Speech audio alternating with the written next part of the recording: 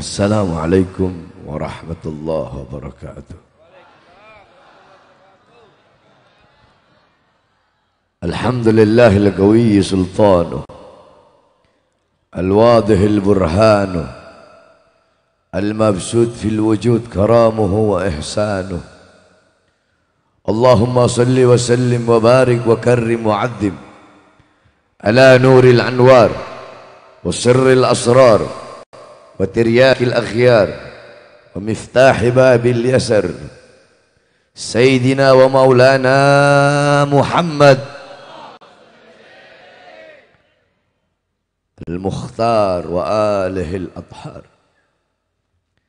وأصحابه الأخيار. عدد نعم الله وإفضاله. أما بعد. Yang saya cinta, yang saya muliakan para alim ulama, para habaib, para kiai, para asatid, para tokoh masyarakat, segenap aparat pemerintah. Wabil khusus sahibul hajat, al-ustad, Aang Khunaifi. Yang saya cinta, yang saya muliakan Kiai Haji Husnul Amal beserta segenap ormas-ormas Front Persaudaraan Islam, Jajaka, PP, Jawara. Alhamdulillah saya bahagia pada malam hari ini. Melihat para ormas-ormas bersatu Apalagi bertambah kebahagiaan saya ketika melihat bapak-bapak TNI duduk bergabung bersama kita. Ini adalah bukti bahwa saya ulama dan TNI tidak akan pernah bisa dipisahkan. Beserta yang saya cintai yang saya hadirin hadirat, bapak-bapak, ibu-ibu khususnya para pemuda-pemudi umat baginda Nabi besar Muhammad yang selalu dimuliakan oleh Allah Subhanahu wa taala.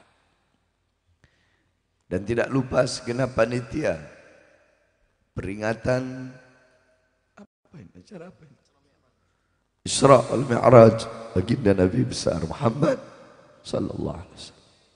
Saudara-saudara, malam hari ini saya ada enam tempat ini tempat yang ketiga, masih ada tiga tempat lagi. Jadi saya tidak bisa lama, walaupun sedikit, insya Allah bermanfaat. Hadirin sekalian yang dimuliakan oleh Allah.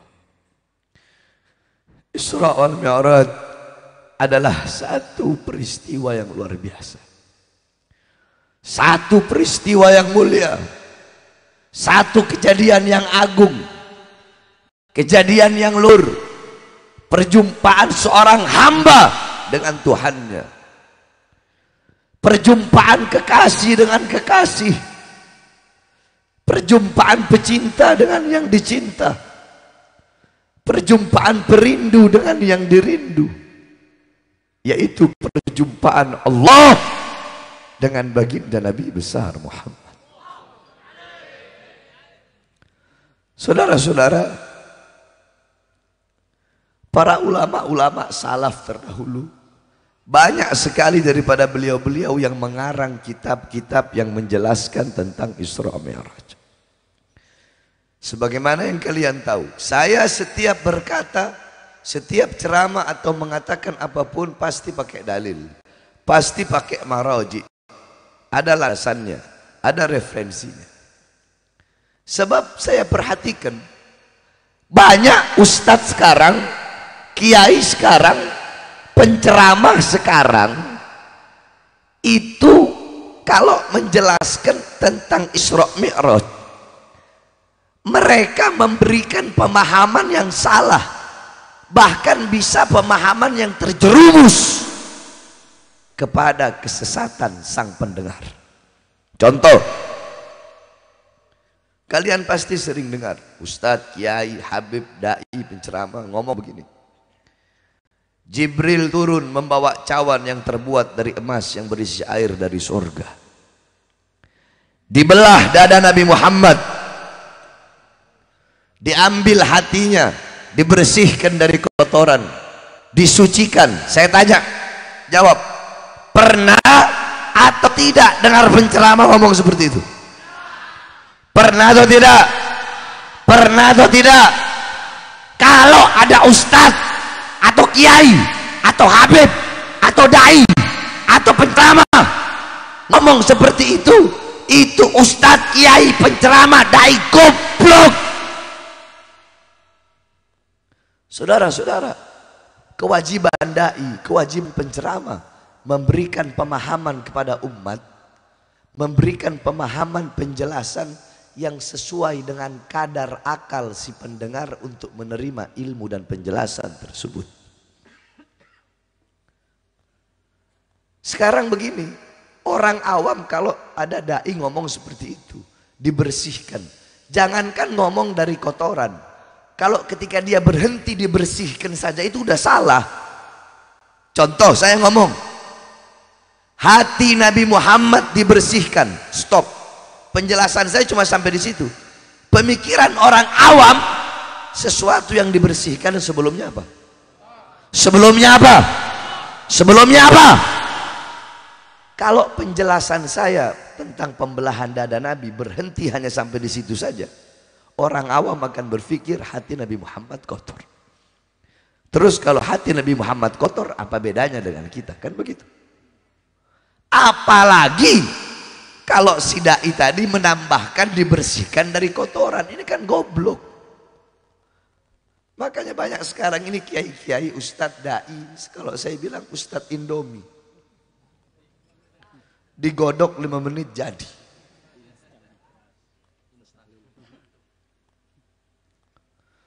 Saudara-saudara, jangan berbicara tentang hati Nabi terlalu jauh. Buka kitab Asyifa karangan Imam Qadiyat. Darah Nabi. Darah Nabi suci. Air kencing Nabi. Air kencing Nabi suci kotoran Nabi Muhammad suci nanah Nabi. Suci. Kalau darah air kencing kotoran Nabi saja suci. Apalagi hati baginda Nabi besar.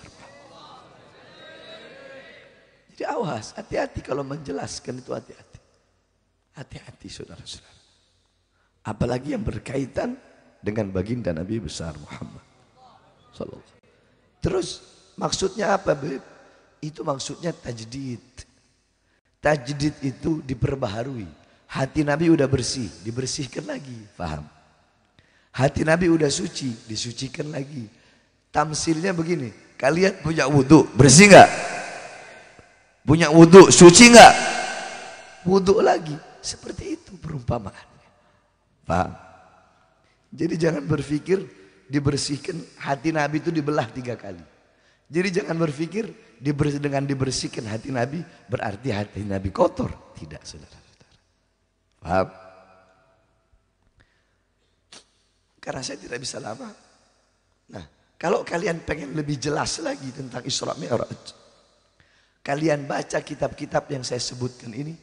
Insya Allah kalian akan mendapatkan pemahaman yang jelas, rinci, benar tentang Isra wal Mi'raj. Ini kitab-kitab ulama-ulama salaf. Man arada taqadduma fa'alaihi bi kutubil mutaqaddimin. Kalau kalian pengen berada di terdepan, pemikiran kalian pengen bagus, kalian pengen terdepan dalam segala urusan, maka hendak berpegang teguhlah kepada kitab-kitab ulama terdahulu. Kitab-kitab yang menjelaskan Isra Mi'raj ada kitab As-Sirraj Al-Wahaj fi Haqaiqil Mi'raj karangan Al-Imam Abu Ishaq Muhammad ibn Ibrahim An-Nu'mani Asy-Syafi'i. Beliau murid daripada Al-Imam Ibnu Hajar Al-Asqalani. Kemudian ada kitab Al-Mi'raj karangan Al-Imam Abdul Karim Al-Kushairi. Kemudian ada kitab Ar-Risalah fil Mi'raj karangan Al-Imam Abdul Hasan Ali bin Muhammad Al-Lakhmi.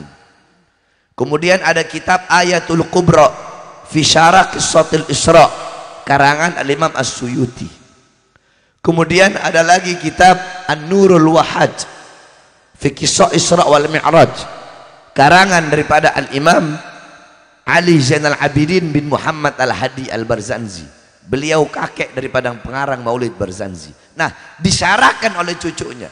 Diberi nama kitab Tajul Ibtihaj ala Nuril Wahaj. Karangan Imam Ja'far bin Ismail Al-Barzanzi. Kemudian ada kitab Kissatul Mi'raj. Karangan As-Sayyid Usman Syata bin Muhammad Syata. Kemudian ada kitab Afdalul Manhaj fi Isbat Isra wal Mi'raj. Karangan Al-Imam Al-Hafidh Abdullah Mustafa Al-Maraghi kemudian ada kitab Daw'us Siraj fi Fadli Rajab wa Kisah Al-Mi'raj karangan Said Muhammad Amin Al-Kurdi ulama-ulama Betawi zaman dulu kiai-kiai Betawi zaman dulu kalau udah masuk bulan Rojab beliau-beliau dengan murid-muridnya itu pasti ngaji pasaran menghatamkan kitab Dawus Siraj fi Fadli Rajab wa Qissa Al-Mi'raj. Dua kitab. Itu yang pertama, yang kedua Hosyah Ad-Dardir. Karangan Imam Ahmad Abil Barkat Ad-Dardir. Ya, Kiai Betawi, Jawa Barat, Banten, tiga tempat ini. Kemudian ada lagi kitab Minhajus Syami, Mukhtasar Mi'rajus Syami. Karangan Syekh Yusuf bin Ismail An-Nabhani. Kemudian ada kitab Nailul Muna wal Ghaya As-Sa'ul fil Mi'raj Sayyidina Al-Mukhtar Ar-Rasul karangan Imam Muhammad bin Ja'far Al-Kattani. Kemudian kitab Hulal Ad-Dibaj Al-Matruza fil Isra wal Mi'raj karangan Imam Ahmad bin Muhammad Ar-Rahwani At-Tatwani. Kemudian ada kitab Al-Mi'raj An-Nabawiyah karangan Syekh Hasan Asy-Syati. Kemudian kitab Qissatul Mi'raj karangan Imam Najmuddin Al-Ghaiti. Kemudian ada kitab Mu'jizatul Kubra li Sayyidil Anbiya karangan Al-Imam Syekh Nafi Al-Jauhari. Kemudian kitab Yawaqit Taj Al-Wahaj fil Isra wal Mi'raj karangan daripada Al-Imam Muhammad bin Muhammad Al-Hadi Al-Kattani. Kemudian kitab Al-Anwar Al-Bahiyah fil Mi'raj Khairil Bariyah. Karangan guru besar kami Imam Ahlus Sunnah wal Jamaah Abuya Sayyid Al-Habib Muhammad Ibn Alwi Al-Maliki Al-Hasani Al-Maki. Pelajari kitab-kitab tersebut insyaallah kalian akan mendapatkan pemahaman yang jelas, yang rinci tentang kejadian Isra Mi'raj. Saudara-saudara, intinya saja. Isra Mi'raj Allah undang Nabi Muhammad. Untuk apa? Untuk menerima satu perintah yang mulia. Satu perintah yang agung. Satu perintah yang suci. Satu perintah yang utama. Satu perintah yang penting. Satu perintah yang di mana ketika Allah memerintahkan perintah-perintah yang lain cukup melalui Al-Quran. Ayo semua jawab yang keras. Allah perintahkan puasa melalui apa? Allah perintahkan haji melalui apa? Zakat melalui apa? Sodakoh melalui apa? Melalui Al-Quran. Tapi perintah yang satu ini tidak cukup melalui Quran. Allah undang langsung Nabi Muhammad bil jasad waruh yakdotan dalam keadaan sadar dalam keadaan terjaga jasadnya ruhnya berjumpa dengan Allah. Ro'a azizul wahab bila hijab. Beliau berjumpa langsung dengan Allah tanpa setitik pun penghalang. Bahkan Al-Imam Al-Qastolani beliau mengatakan siapa yang lebih mulia sendal Nabi Muhammad ataukah malaikat Jibril Jibril tidak pernah berjumpa langsung dengan Allah. Tapi Nabi Muhammad bahkan sandalnya berjumpa dengan Allah. Kenapa sandal itu menjadi mulia? Itu sandal hanya kulit biasa. Sandal itu menjadi mulia karena menempel dengan sesuatu yang mulia yaitu kulit baginda Nabi besar Muhammad. Alam tara jildal hagira mugabbalan bisagafi lamma ansara jildal mushafid Tidak pernahkah kalian melihat kulit-kulit yang tidak berharga, kulit-kulit yang tidak bernilai, kulit-kulit tersebut dicium di mulut-mulut, dicium di bibir-bibir. Ketika kulit itu menjadi sampul ayat suci Al-Quran. Contoh begini. Ini ibarat kata kulit. Saya punya satu kulit. Saya belah dua kulit saya. Ini kulit kambing saya belah dua. Kulitnya sama kan? Dari satu kulit yang sama. Yang ini saya bikin dompet. Yang ini saya bikin sampulnya mushaf. Sampulnya Quran.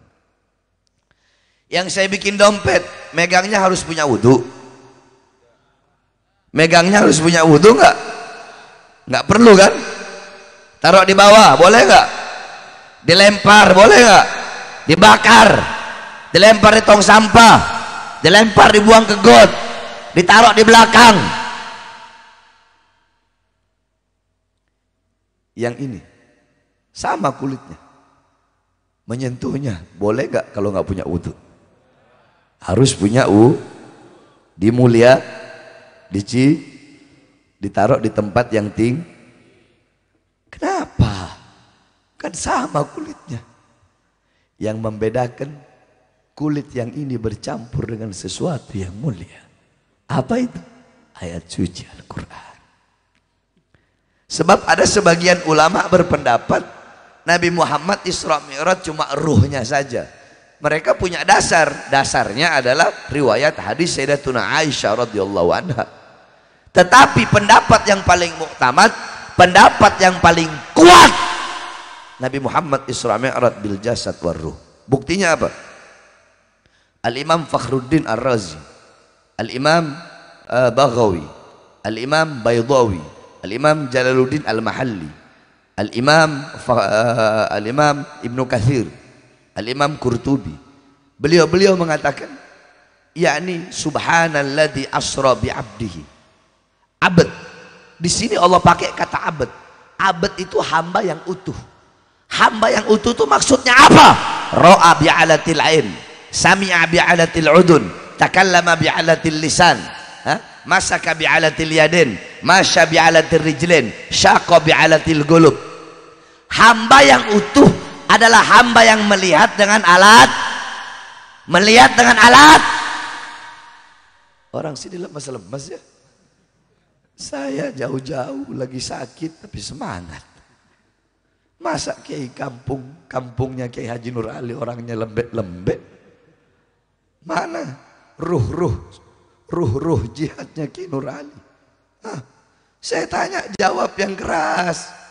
Melihat dengan alat, mendengar dengan alat, berkata dengan alat, menyentuh dengan alat, berjalan dengan alat, merasa dengan alat. Itu hamba yang utuh. Saya tanya, kalau ruh doang tanpa jasad, bisakah melihat dengan alat mata? Bisakah mendengar dengan alat telinga? Sebaliknya, ruh saja, eh, jasad saja tanpa ruh, bisakah melihat dengan alat mata? Mendengar dengan alat telinga? Berarti yang bisa apa? Jasad dan ruh. Itu bimakna al-abad di situ. Saya kalau mau jelasin Isra Mi'raj satu bulan nggak kelar. Subhana bimakna tanzih yakni aib al murad tanzihullah min kulli su al bara'ah uh, yakni subhana bi ma'na al bara al bara min kulli uh, panjang lebar. Intinya saja begitu. Berjumpa langsung dengan Allah dalam keadaan sadar dalam keadaan tetap terjaga jasadnya ruhnya berjumpa dengan Allah untuk menerima suatu perintah yang tidak pernah Allah yang di mana perintah-perintah yang lain Allah perintahkan melalui Quran tapi perintah ini tidak cukup melalui Quran karena begitu penting dan utamanya. Apa itu? Apa itu? apa itu? sholat makanya jaga kau punya sholat perhatikan kau punya sholat utamakan kau punya sholat saudara-saudara saya sampaikan kepada kalian saya ini binatang kalian binatang kita ini binatang. Kita bejat. Kita ini manusia-manusia bangsa. Bahkan kita bisa dibilang lebih binatang dari binatang. Kenapa Habib ngomong seperti itu? Ya, di masjid-masjid kalian, di musola-musola kalian, terdengar panggilan Allah. Hayalah salah, hayalah salah, ayo salat. Eh kalian yang dagang, berhenti dulu dagangnya. Woi kalian yang punya toko, tutup dulu tokonya. Woi yang bekerja, berhenti dulu kerjanya. Woi yang duduk di atas kursi kekuasaan, bangun kalian. Ayo sholat. Woi yang di atas komputer, berhenti dulu. Abrang berangkat angkat kaki, sholat. Ayo kembali kepadaku. Hayya ala sholat. Panggilan Allah terdengar di kuping-kuping kalian. Tetapi kalian abaikan panggilan Allah. Dan kalian lebih memilih panggilan perut kalian. Saya tanya, ini yang terjadi kan? Ini yang terjadi kan? Salah saya ngomong. Salah. Kalian lebih mementingkan harta, usaha, pekerjaan, uang ratusan ribu rupiah. Kalian tinggalkan Allah karena uang ratusan ribu rupiah masih pantas kita dibilang manusia kita lebih binatang dari binatang padahal kau tahu Allah yang kasih kau kehidupan. Allah yang kasih kau apa? Allah yang kasih kau rezeki. Allah yang kasih kau nafas. Bagaimana kalau Allah minta setiap satu kali nafas seribu rupiah? Allah minta bayaran. Kita punya waktu 24 jam. Ambil 24 jam, 2 jam untuk sholat. Sama wirid-wiridnya, kecuali wahabi nggak wiritan. Dua jam sama wirid-wirid, masih ada sisa berapa? Masih ada sisa 20 jam untuk urusan perut, untuk urusan di bawah perut, untuk urusan makanan, harta, pekerjaan, pangkat, jabatan, tahta, dagang, usaha, masih ada 22 jam. Kenapa kalian tidak mau meluangkan dua jam untuk Allah yang memberikan kalian kehidupan makanya saya bilang saya kalian kita ini lebih binatang dari binatang saudara-saudara takut kepada Allah kembali kepada Allah as-salatu rasul ibadah salat itu kepalanya ibadah saya tanya, kepala ngikut ekor apa ngekor ngikut kepala? Kepala ngikut ekor. Kepala ngikut ekor apa ekor ngikut kepala? Berarti amal ibadah yang lain mengikuti so. Kalau kau punya sholat bagus, kau punya sholat baik, kau punya sholat sempurna, maka seluruh amal ibadahmu bakal baik, bakal bagus, bakal sempurna walaupun sedikit. Paham? Sebaliknya, kalau kau punya sholat rusak, kau punya sholat hancur, kau punya sholat berantakan, walaupun amal ibadahmu setinggi langit, sebesar gunung, sedalam laut, tetap semuanya bakal rusak, hancur, berantakan, walaupun amal ibadahmu banyak. Karena apa? Karena tolak ukur yang menentukan baik atau buruknya ibadah adalah sholat. Sampai-sampai Rasulullah sebelum wafat apa wasiat beliau? Usikum bisalah. Usikum bisalah. Usikum bisalah. Ketika beliau tidak bisa menjadi imam, beliau masih memperhatikan apa kata beliau? Muru Abu Bakar bisalah. Perintahkan Abu Bakar untuk salat menjadi imam. Jaga. Beb, saya nggak bisa salat awal waktu nggak bisa sholat awal waktu, sholat tengah waktu. Beb, nggak bisa sholat tengah waktu, sholat akhir. Beb, nggak bisa sholat di masjid di musola, sholat di rumah. Beb, nggak bisa sholat jamaah, sholat sendiri. Beb, nggak bisa sholat berdiri, sholat du. Beb, nggak bisa sholat duduk, sholat di.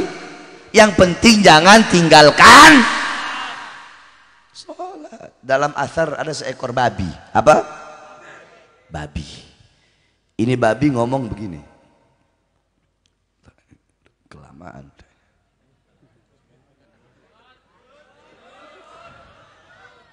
Ada yang ngomong saya pulang. Ana syarrad. Kata babi, saya ini binatang paling buruk. Saya ini binatang paling hina. Tapi sehina-hinanya saya, seburuk-buruknya saya, setidaknya saya masih lebih mulia daripada orang yang meninggalkan sholat lima waktu dengan sengaja. Jawab yang keras. Berarti kalau ada orang meninggalkan sholat lima waktu itu orang apa? Apa? Apa? RT nggak sholat RT apa? RW nggak sholat RW apa? Kurang keras. Lurah nggak sholat lurah apa? Camat nggak sholat camat apa? Bupati nggak sholat bupati apa? Wali kota nggak sholat wali kota apa? Gubernur nggak sholat gubernur apa? Menteri nggak sholat menteri apa? Presiden nggak sholat presiden apa? Polisi nggak sholat polisi apa? Tentara nggak sholat tentara apa? Anggota dewan nggak sholat anggota dewan apa? Ustadz nggak sholat ustadz apa? Kiai nggak sholat kiai apa? Habib nggak sholat Habib apa? Giliran Habib kenceng banget. Bukan babi dong. Lebih babi dari babi kan babi bilang saya lebih mulia mulia. Makanya jaga kau punya so apalagi anak-anak muda eh anak-anak muda. As-salatu imaduddin. Salat itu tiangnya agama. Saudara-saudara kamu mau tahu? Yang merobohkan tiang agama yang merobohkan tiang syariat yang merobohkan tiang Islam bukan agama lain. Bukan orang kafir bukan orang Kristen, bukan orang Katolik, bukan orang Buddha, bukan orang Hindu, tetapi yang merobohkan, yang merusak tiang agama Islam adalah anak-anak Islam sendiri. Orang Islam sendiri yang merobohkan. Bukan agama lain. Bukan kita yang merobohkan tiang agama kita, saudara-saudara. Ayo saya tanya, di Indonesia yang paling banyak mabuk siapa? Islam mau bukan? Orang Islam? Yang paling banyak mabuk? Yang paling banyak jadi pelacur. Yang paling banyak narkoba. Yang paling banyak maling. Yang paling banyak koruptor. Makanya saya walaupun banyak masukin mu'alaf masuk Islam tapi bagi saya itu tidak terlalu penting. Yang paling penting bagi saya mengislamkan orang Islam. Makanya saudara-saudara khususnya anak-anak muda eh kalian anak-anak muda jaga perkuat, perkokoh. Kau punya tiang agama, tiang syariat. Bagaimana caranya, Beb? Satu, cara mengokohkan, cara memperkuat tiang agama dengan menjaga sholat, mengutamakan sholat, ramaikan masjid-masjidmu, ramaikan majelis taklim, ramaikan majelis ilmu, dekat dengan ulama, dekat dengan habaib, belajar agama. Itu cara yang pertama. Dengan mengutamakan sholat, dengan menjaga so dengan meramaikan mas. Yang kedua cara memperkokoh dan memperkuat tiang Islam yaitu dengan amar ma'ruf nahi mungkar. Menyeru kepada kebaikan menyampaikan kebaikan menyampaikan kebenaran menyampaikan keadilan dan mencegah kemungkaran.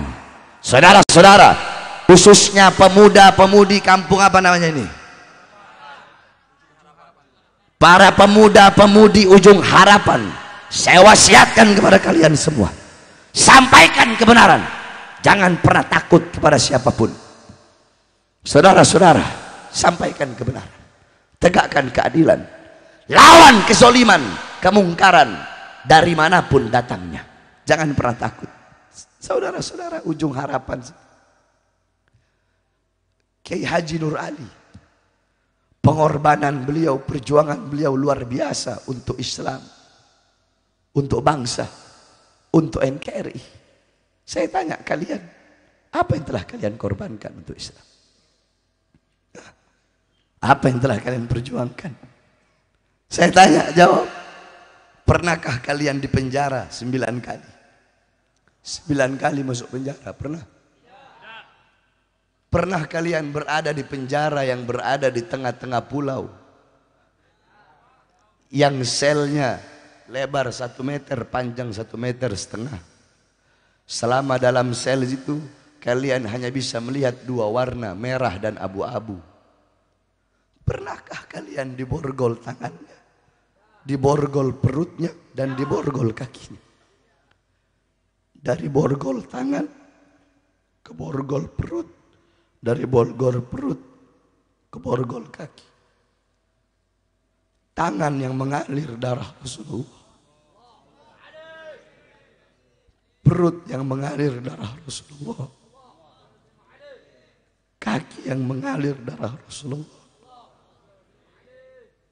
Diborgol dan dipertontonkan saudara-saudara. Pernah? Pernah? Pernahkah kalian ketika berada di dalam mobil, di tol, atau di mana pun, mobil kalian ditembaki, ada upaya percobaan pembunuhan? Pernah?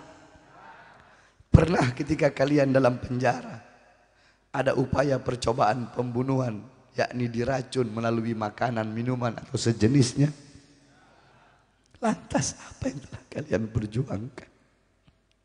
Saudara-saudara, coba kalian lihat Habib Rizik. Perjuangan beliau, pengorbanan beliau di masa sekarang. Tidak usah kita berbicara ke Haji Nur Ali, terlalu jauh. Terlalu jauh beliau, terlalu besar perjuangan dan pengorbanan beliau. Habib Rizik di masa tuanya bertubi-tubi kezoliman yang beliau dapatkan. Organisasinya dibubarkan tanpa ada alasan yang jelas. Padahal selama ini ada bencana TNI, Polri, Ormas, Bansar, apa namanya? Banansar, apa itu? Bukan. Basarnas belum turun. FPI sudah turun dulu. Tapi dibubarkan tanpa ada alasan yang jelas. Cukup sampai sini tidak.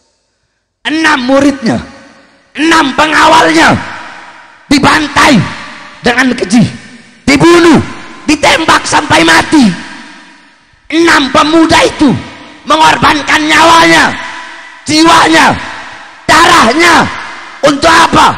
Untuk membela, menjaga anak cucu Rasulullah yang berjuang mempertahankan agama kakeknya Rasulullah Sallallahu Alaihi Wasallam.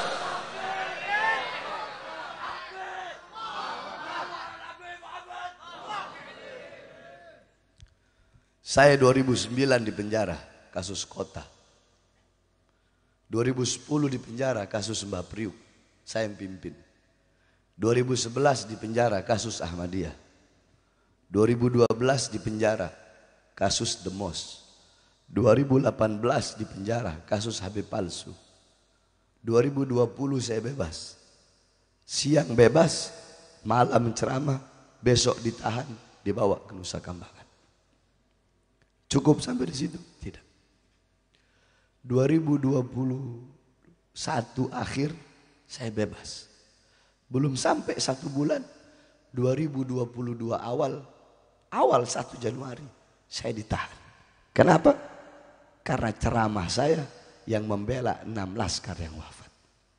Saya tanya, enam laskar yang wafat itu apakah mereka bukan bagian dari rakyat? Hah? Jawab. Rakyat tahu bukan? Masyarakat bukan? Saudara-saudara, kenapa Habib Rizik, saya, kami para habaib yang berjuang menyampaikan kebenaran, menegakkan keadilan. Kami tidak lawan pemerintah.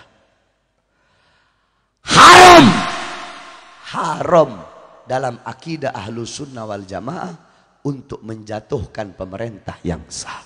Gak boleh haram.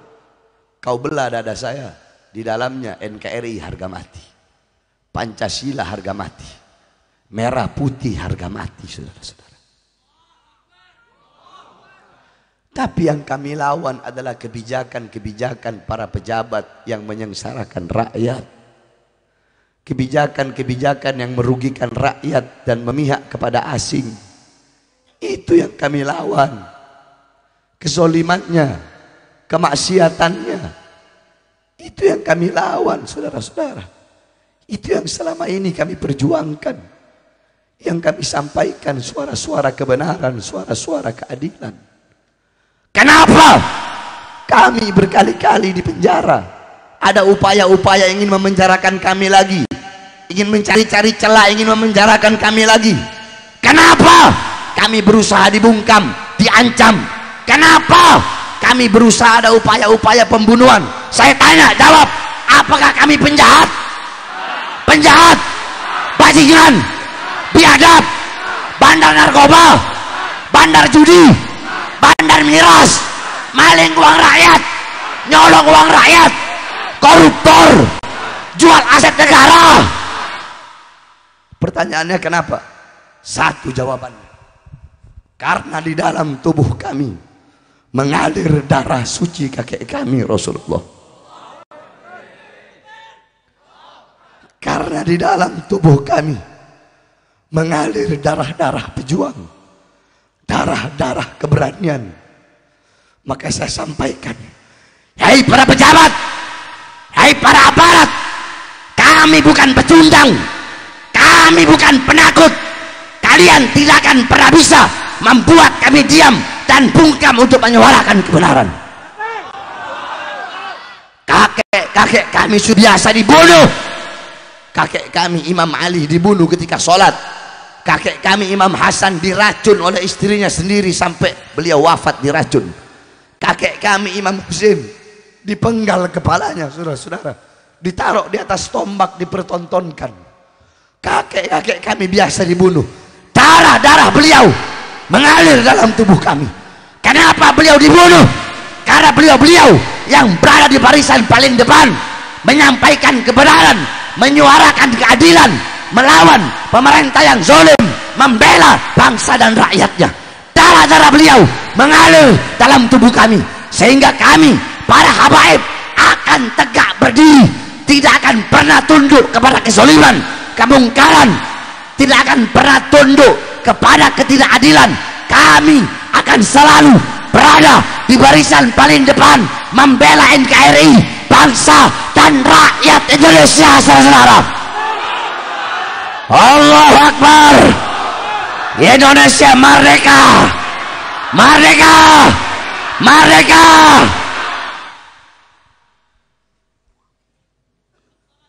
Makanya jangan jangan jangan kami tidak bisa dibungkam. Eh, semakin kalian mau bungkam mulut kami, semakin akan kami teriakkan itu kebenaran.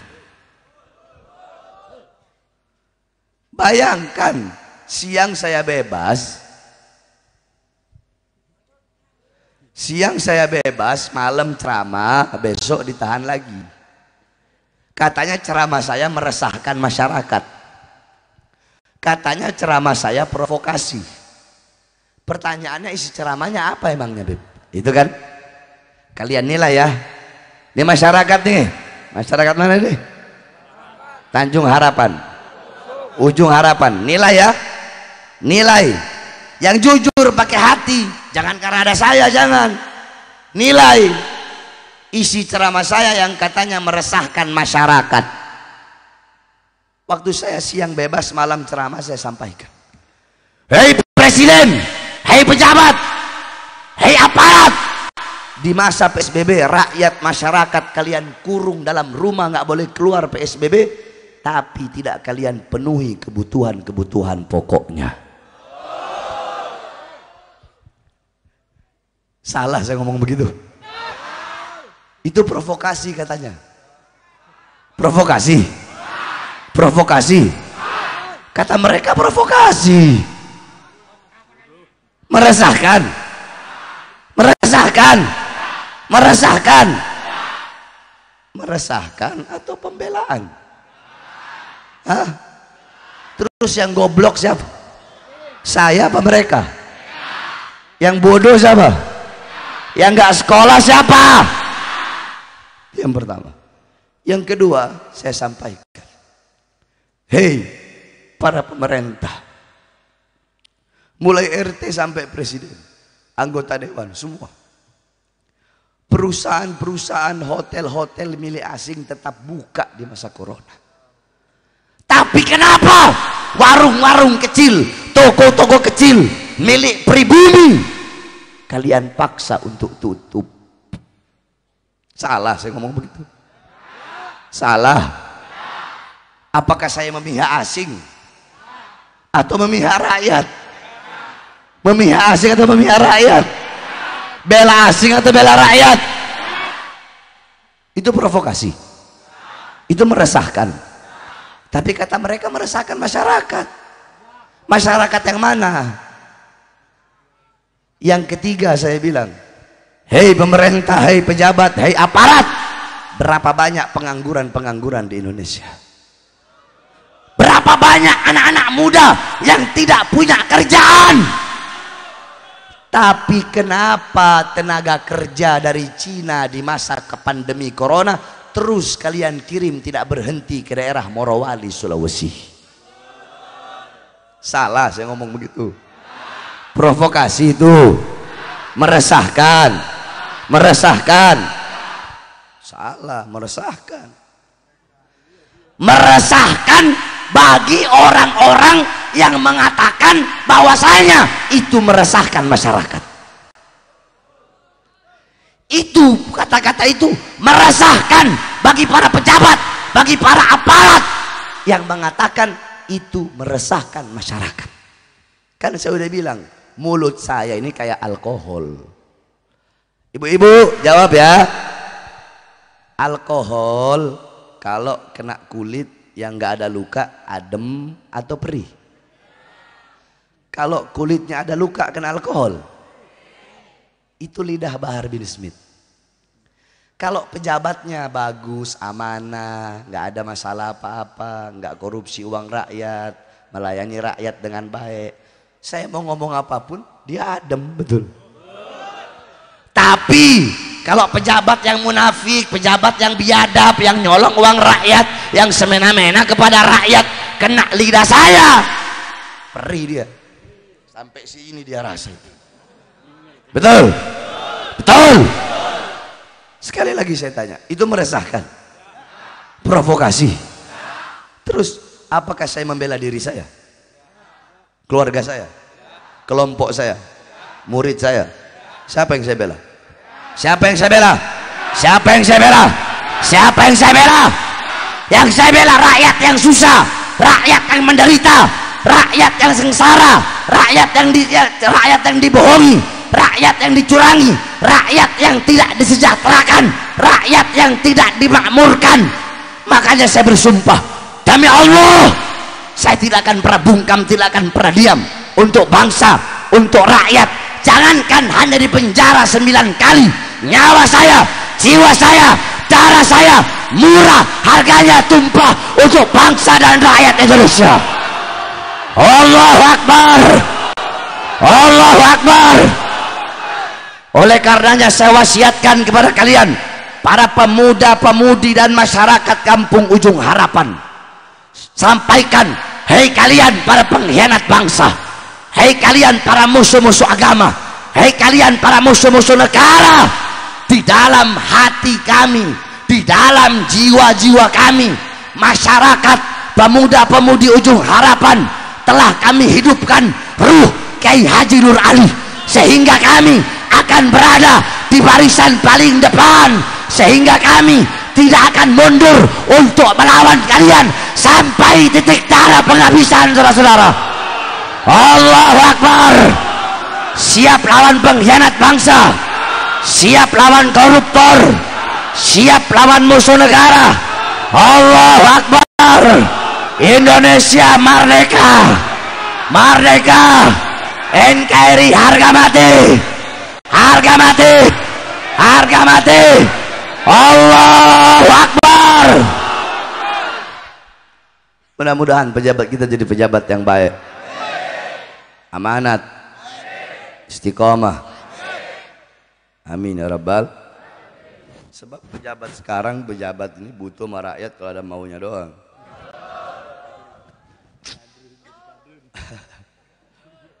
Mau pencalonan butuh sama kiai. Ya kiai butuh sama majelis-majelis saya berjanji mensejahterakan rakyat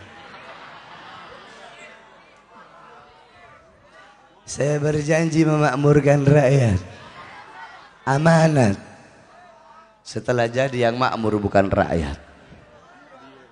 Yang sejahtera bukan rakyat. Yang makmur partainya. Yang sejahtera politiknya. Kita bangsa dan rakyat Indonesia menjadi budak di negara kita sendiri. Makanya saya sampaikan, ayo para ustadz, para kiai, para habaib bersatu. Jangan hanya gara beda-beda bendera, ulama saling berantem. Betul? Kalau kiai-kiai, habib-habib sekarang ini macam-macam. Ada kiai kuning, habib kuning, kiai hijau, habib hijau, kiai merah, habib merah, kiai putih, habib putih, kiai biru, habib biru. Faham maksud faham? Faham? Kiai Golkar, Habib Golkar. Kiai PDI, Habib PDI. Kiai Gerindra, Habib Gerindra. Kiai PKB, Habib PKB. Kiai P3, Habib P3. Kiai PAN, Habib PAN. Apalagi? Semuanya ntar disangka nggak adil lagi. Apa yang belum? Kiai Nasdem, Habib Nasdem. Terus? Kiai PKS, Habib PKS. Terus? Kiai Demokrat, Habib Demokrat. Kiai Perindo, Habib Perindo. Kalau zaman dulu, kalau dulu Kiai Prabowo, Habib Prabowo. Kiai Jokowi, Habib Jokowi. Nanti 2024 nih mungkin Habib Anis, Kiai Anis. Eh, saya nggak ada pilih siapa-siapa. Kan ngapain? Amin nanti ada Kiai Anis, ada Habib Anis, ada Kiai Ganjar, ada Habib Ganjar. Kalau tanya Habib Bahar, pilih mana? Oh, 2024 saya wallahu a'lam bisawab. Saya nggak mau ikut campur. Cukup sudah saya dikhianati. Bagi saya yang paling mahal satu, kesetiaan. Saudara-saudara, paling mahal itu setia. Nggak ada yang lebih mahal dari itu. Ya ibu-ibu ya? Benar nggak ibu-ibu? Ibu-ibu paling senang dapat suami setia. Bagi saya paling mahal itu kesetiaan.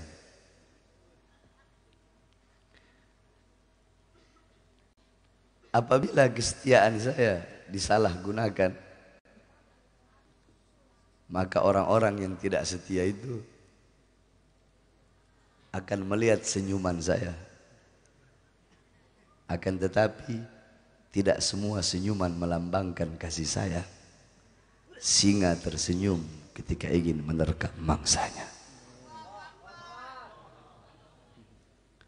Sebelum saya tutup, saudara-saudara, saya lagi bangun pondok pesantren. Pondok pesantren saya haram jadah terima bantuan dari pemerintah. Bukan berarti kalau ada pondok yang terima salah, enggak, enggak salah. Cuma saya ikhtiat berhati-hati, saya enggak mau. Maka saya harapkan hadirin yang hadir di sini untuk mengeluarkan hartanya di jalan Allah. Siap keluarkan harta? Siap keluarkan harta? Sebentar lagi bulan Ramadan. Jihadul Akbar. Seperti disampaikan Kiai tadi. Uh, raja'a rasul min harbil badr gal raja'na min jihadil asghar ila jihadil akbar. Kita pulang dari perang yang kecil menuju perang yang besar. Kita pulang dari perang melawan musuh yang kecil menuju melawan musuh yang besar. Apa itu? Jihadun nafas. Jihad melawan hawa nafsu. Tuba liman kana agluhu amira wa hawahu asyira. Fawailul liman kana agluhu asyira wa hawahu ah, Nanti panjang lagi kalau saya jelasin. Udah, intinya saudara-saudara semua keluarkan hartanya di jalan Allah Subhanahu wa taala Insya Allah Allah balas ribuan kali lipat. Ya, sambil kosida mars pembela Rasulullah. Apal? Apal semuanya? Keluarin flashnya yang semangat ya. Keluarkan flash. Kosida mars pembela Rasulullah yang semangat. Ya. Ayo semuanya. Prajurit pembela Rasulullah. Yang keras.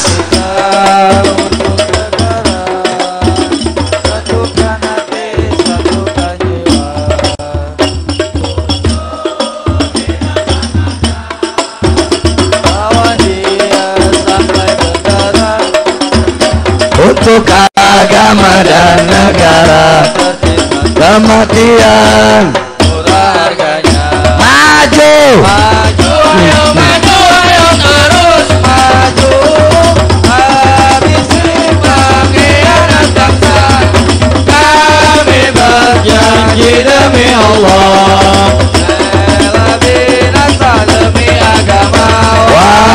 prajurit pembela Rasulullah berjuanglah tanpa lelah walau harus melangkah dengan mata takkan mundur walau satu langkah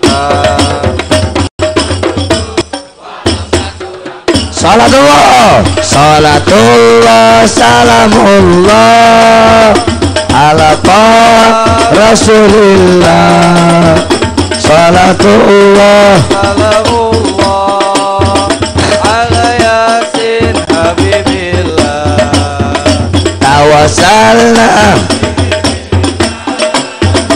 Wabil hadi Rasulillah Wa kulli mujahidin lillah Bi alil bad ya Allah Salatullah Rasulillah. Salatullah Salamullah. Ala Yasin Habib. Sekali lagi angkat tangannya. Prajurit pembela Rasulullah. Yang semangat. Bangkitlah untuk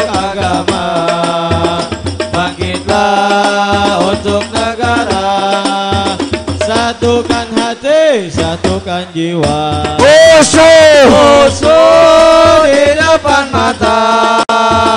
Lawan dia sampai berdarah. Berdarah. Dan negara tercinta kematian. Murah harganya. Maju. Maju ayo maju ayo terus maju. Habisi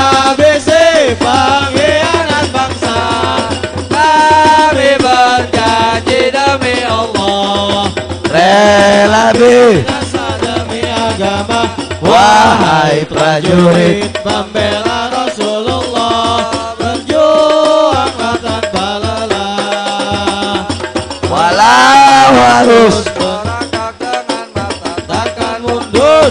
Walau satu langkah. Takkan mundur. Walau satu langkah. Takkan mundur. Walau satu langkah Kepada semua jamaah yang hadir Saya wasiatkan Kiai Haji Nur Ali Para ulama, para wali Mereka hidup dalam kubur Bahagiakan Kiai Haji Nur Ali Bagaimana cara membahagiakannya? Cara membahagiakannya adalah dengan kalian jangan jauh dari ulama apalagi habaib. Karena beliau terkenal sangat cinta kepada habaib. Bahkan terus lanjut ke anaknya, lanjut ke cucu- cucunya. Maka bahagiakan beliau dengan jangan jauh dari ulama dan jangan jauh dari haba. Itu cara membahagiakan beliau. Mudah-mudahan Allah semua merahmati kita semua. Sekali lagi saya memberikan apresiasi. Ini Bapak dan Ramil ya? Oh Babinsa, kirain dan Ramil. Mudah-mudahan naik pangkat. Ya Alhamdulillah sekarang ini saya setiap ceramah di mana-mana itu Kapolsek hadir dan Ramil hadir. Alhamdulillah. Kalau kayak begini kan enak ya. Saya juga memberikan eh, terima kasih ada anggota-anggota kepolisian yang menjaga acara, mengamankan acara, anggota-anggota TNI. Mudah-mudahan dipermudah semua urusan dunia akhirat. Bapak, ibu-ibu semua tidak keluar dari ini majelis kecuali Allah ampuni dosa-dosa kita semua. Amin ya rabbal. Mohon maaf, ini saja dapat saya sampaikan. Tadinya saya cuma mau 15 menit jadi satu jam. Kasihan tempat yang lain tuh dan nungguin. Ini saja ya. Insya Allah ketemu lagi. Oh ya terus saya lagi buka pesantren kilat. Ya, saya buka pesantren kilat. Itu kami menghatamkan 25 kitab. 25 kitab terus meng, apa wajib hafal 200 hadis dan e, kami ajarkan ilmu munadoroh sama ilmu mu, apa e, muhadoroh. Munadoroh itu ilmu debat. Jadi kami ajarkan ilmu debat dan kami ajarkan muhadoroh, cara-cara untuk berceramah. Kalau acara ini ceramahnya begini. Jadi kalau ada yang mau masuk santri kilat silahkan daftar. E, ada nomor telepon Abu Bakar itu kayaknya udah kesebar. Gak tahu udah kesebar, udah tahu loh di sini. Uh, belum tahu ya. Nanti langsung ke pondok aja lah kalau mau daftar. Tahu kan pesantren saya? Jadi anak-anaknya bapak-bapak nih, anak-anaknya ibu-ibu nih, kami didik selama 20 hari, apa selama 25 hari, insya Allah hafal 200 hadis, hatam 25 kitab, dan insya Allah bisa ceramah. Jadi kita gerak cepet itu nggak ada istirahat-istirahatnya. Kalau namanya santri harus siap capek, siap lelah. Kalau mau jadi enak ya jadi orang artis TikTok. Ya walafu minkum. Assalamualaikum warahmatullahi wabarakatuh.